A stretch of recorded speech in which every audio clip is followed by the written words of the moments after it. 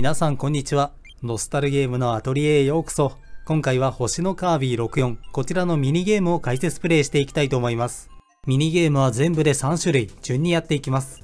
使用できるキャラはストーリーでも活躍したカービィ、ワドルディ、アドレーヌ、デデデの4人。リボンちゃんが使えないのが残念です。なお、ストーリーについての動画は概要欄にリンクがございますので、よろしければそちらもどうぞ。それではやっていきましょう。まずはケンケンレース。A ボタンで2マス飛び、B ボタンで1マス飛んで進むゲームで、水たまりなどをマス目を見て避けながらゴールを目指します。瞬発力が試されるゲームです。一番左のワドルディが主ですが、十数年ぶりにプレイするのと、日々瞬発力は衰えているのとで、だいぶ動きが鈍いです。しかし CPU は弱いなので相手にもなっていません。CPU のレベルは1位になると解放されていくので、一番強いめちゃ強を出したので、これに挑戦します。主がカービィで3色ワドルディが CPU です。めちゃ強は水たまりというか池や足場で跳ねてる魚、また出たり引っ込んだりする亀など障害物も多いですが、今のところ接戦です。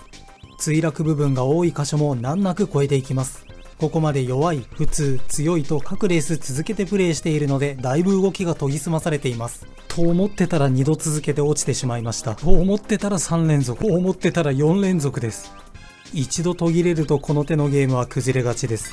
CPU もミスをしないわけではないのですが、さすがに4連続ミスともなるとドベ決定です。トップはジャスト30秒。これを意識して次のレースに臨みます。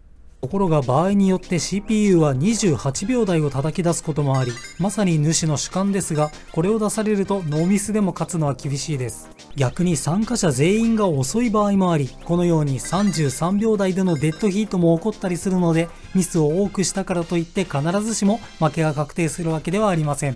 主は負けましたけど。しかし負けが込むにつれミスが許せなくなり、2回以上ミスをするとこのようにディセマラをするようになります。リセマラです。とにかくボタンを早く押して飛んで、運よくゴールまでノーミスでいけるチャンスを増やします。とにかく試行回数を稼ぐしか方法がないのです。動体視力は回数を重ねるごとに荒が目立つようになりました。研ぎ澄まされるどころか血走ってきています。さあ、スタートしました。まず立ち上がりは上々。一番右のアドレーヌと肩を並べています。しかし転覆。20メートル地点 3P デレでも水没したので 2P、4P アドを追いかける形になります。4P アド転覆、40メートル地点で 4P とほぼ並びます。2P も転覆、ここはもう落とせません。さらにカエルのファインプレー、2P こけました。4P アードもカエルで転倒。おそらくカエルは踏まれて亡くなっているので、彼らの死を無駄にはできません。はい。マドレディの足が短いので負けました。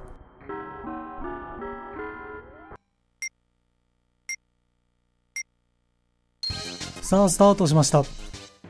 まず、デデデが早々に水没。今回も早くもトップ争いから脱落か？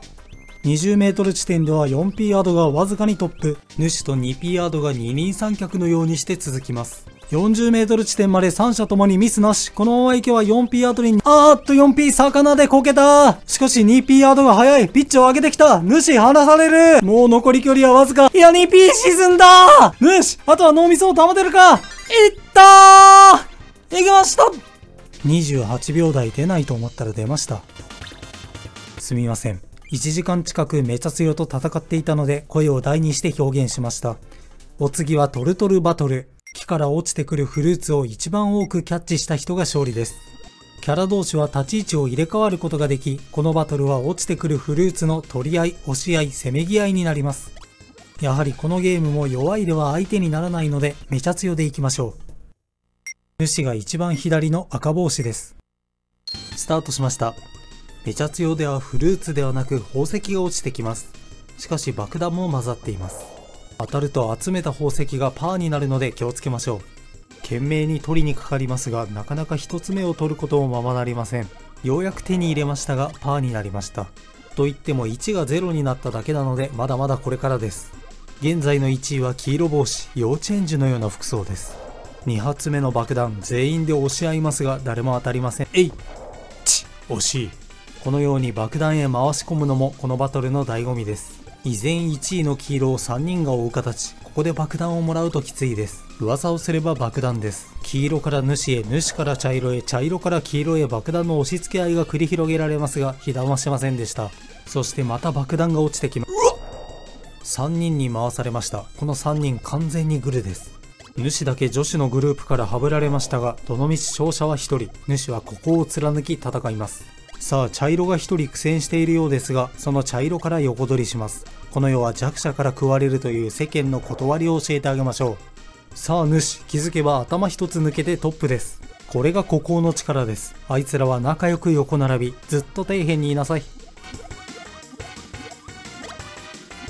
人のもん取るな。さあ自信とともに最終局面。このままいけるか？こら！何すんねん。幼稚園児でも容赦はしませんよ。おいやらん。見事勝利しました。が主一人だけ爆弾を受けたのは尺です。最後はおちおちファイト。行ってみましょう。このゲームは空高いフィールド上でブロックを直線上に崩し相手を5回落とせば撃破で最後まで残っていた人が勝利です。言うまでもなく弱いでは相手にならないのでめちゃ強い行きましょう。空高くどころか宇宙までやってきましたスタートしました。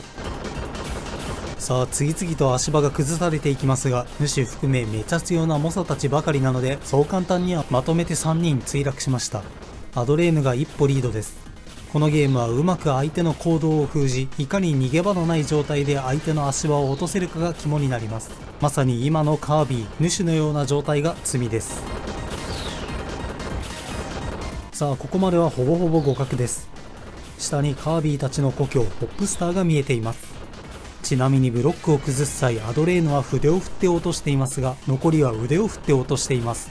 念でも飛ばしているんでしょうか。さあカービィとデデデが仲良く落ちたあたりで後半戦。ここまで未だ脱落者ゼロの激しいぶつかり合いが続きますがデデデがピンチです。そして主がライバルを減らすため差し違えてでもとどめを刺しに行ったデデデ脱落です。足場全体が狭くなり一気にクライマックスに突入します。主残りライフ1で風前の灯火ですが攻撃をかわしライバル同士が削り合うのを待ちます。アドレーヌを仕留めに行きましたがアドに道連れにされ両者脱落しました。終わってみればワドルディの圧勝です。ただ主が2位でアドとの対決には勝ちました。とはいえワドルディに負けっぱなしでは終われないのでリベンジします。さあまず主がデデデを鮮やかに突き落としライフを削ります。今回も真っ先に退場するのでしょうか。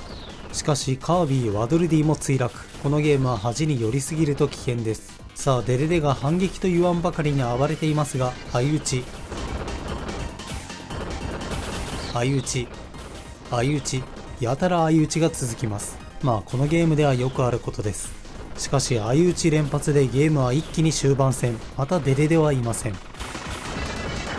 そしてワドルディもリタイア。アドと主残り1ライフ。まさに一騎打ちです。紙一重で勝ちました。